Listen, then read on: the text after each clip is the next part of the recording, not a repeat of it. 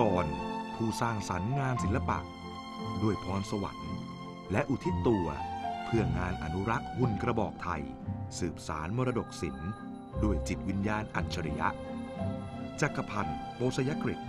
ใน สยามศิลปิน วันอาทิตย์ที่ 5 กรกฎาคม เวลา 22นาฬิกา30 นาที